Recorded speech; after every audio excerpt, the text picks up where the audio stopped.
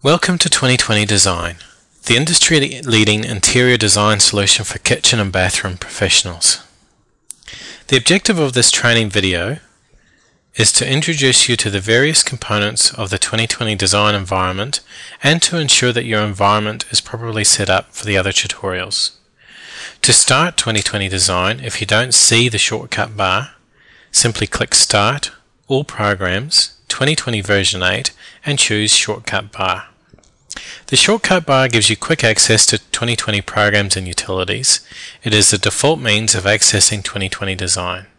Select the icon and the application will start.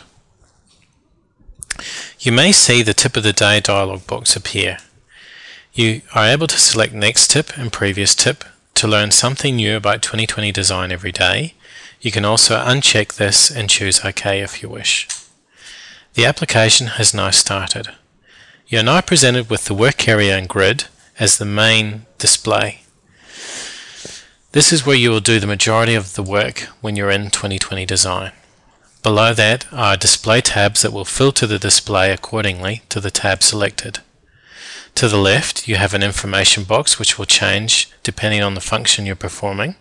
Below that an edit box and a drag and drop box. To the right of that you'll see some icons and if you hover over these a tooltip will appear. You'll also note that there's toolbars along the top. You can also access any of the 2020 design functions through the pull down menus. You'll note that there's an icon and shortcut key um, presented in the pull down menu. You'll note that the icon is the same as the icon used in the toolbars. So this will help you help you with familiarity.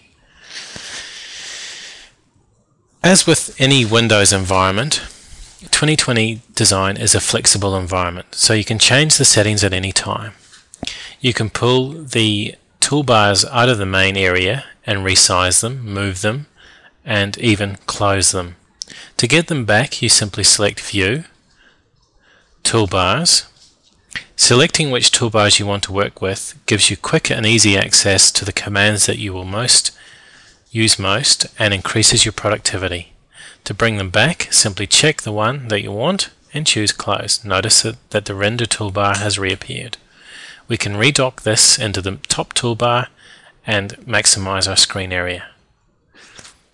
Again, should you maybe hide the information, edit and drag and drop boxes, it is quite easy to get these back. Simply choose the View pull down menu and you will see that there's the drag and drop box, the information box and the edit box. Simply by selecting one of these, it, the appropriate box will reappear. We can also get these back by using the icons on the toolbar along the top. If at any point you want to resize the height of these components, simply move the horizontal cursor between the boxes and you'll note that the shape, cursor shape becomes a horizontal splitter. This allows you to resize by holding down the left mouse button.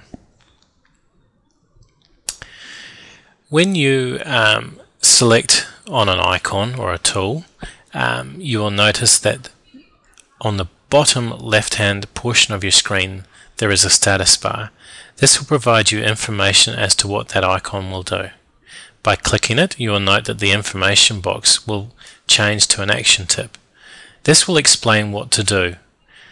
Again, more information will be displayed in the edit box as you select different icons. So as we are drawing a wall here, it has shown what to do.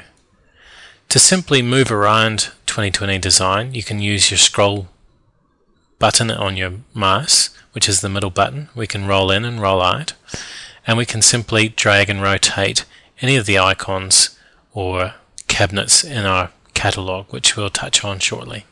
We can even change the view of these by right mouse button clicking. To drag a cabinet onto screen onto your design you simply left click and drag and drop. Again we'll cover this in more detail in the other modules. This is pretty much the general interface of 2020 design.